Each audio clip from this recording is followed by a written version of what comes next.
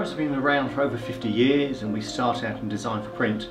More recently we've moved into digital and CGI and within the CGI work it's mainly pre-rendered stills and animations but for us it's always been the absolute pinnacle of quality of the image that's most important for us. We always strive to get photographic quality from our CG assets and with animation to get the filmic quality that we need. We looked at Unreal uh, at the very beginning we then benchmarked that against other products in the market and we come to the conclusion very quickly that UE4 was far and away the best. It gave us the best quality in our imagery, our animations. You can see things instantly, you can change things on the fly, it's fantastic.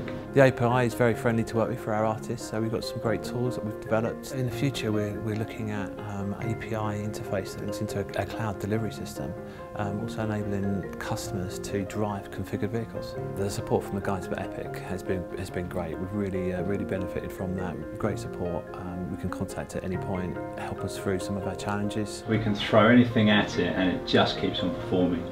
From the lighting, from the materials, to the amount of polygons that we chuck into Unreal, it's just amazing. I see us really pushing the interaction and the engagement. I'd like to take a data feed direct from our clients to drive a UE4 experience and at the end of it drive a fully configured UE4 car through any environment we like. That's where I'd like to take it.